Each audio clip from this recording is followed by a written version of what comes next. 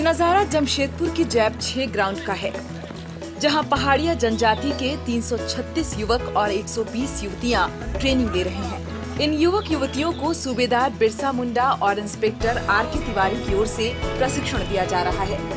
Training complete करने के बाद सभी खूंटी जिला चले जाएँगे, जिसके बाद ज़रूरत के मुताबिक इन्हें पोस्ट पर भेजा जाएगा। स्पेशल ट्रेनिंग के बाद ये युवक युवतियाँ नक्सलियों से लेकर उग्रवादियों तक से लोहा लेंगे।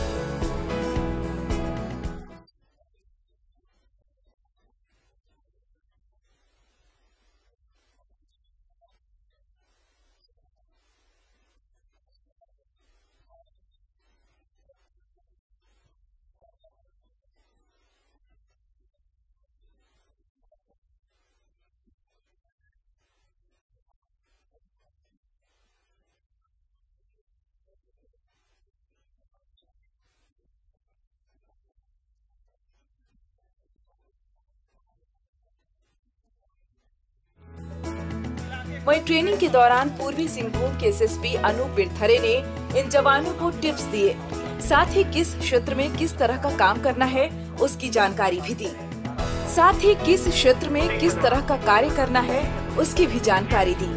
उन्होंने युवक युवतियों का हौसला बढ़ाते हुए उनके इस प्रशिक्षण को काफ़ी सराहा।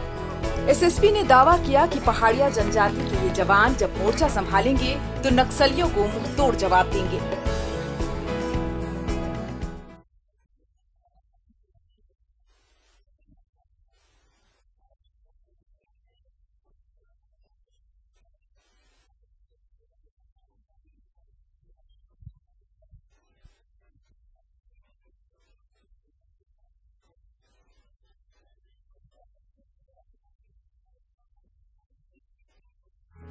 झारखंड के हर ज़िले में ट्रेनिंग पाए इन युवक युवतियों को तैनात किया जाएगा।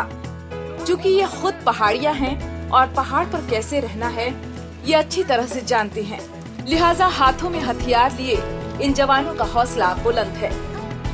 राज्य के पहाड़ी इलाकों में ये युवक युवतियाँ पढ़ लिख कर भी बेरोजगार थे, जिसके बाद राज्य सरकार ने इन्हें रोज़गार देते हुए आत्मनिर्भर बनाया। फिर क्या था? घर में बैठे इन युवाओं ने अपने हुनर के दम पर पुलिस बल में जगह बना ली। और इस ट्रेनिंग में लगभग 120 युवतियाँ जो पहाड़ी जाति के हैं, वो अपने आप को सशक्त और मज़बूत कर चुकी है और सीमा से लेकर और नक्सलियों को जंगल से भगाने का वचन ले चुकी है। कैमरामैन ऋषभ के साथ मैं मनोज कुमार कशिश न्यूज़ जमशेदपुर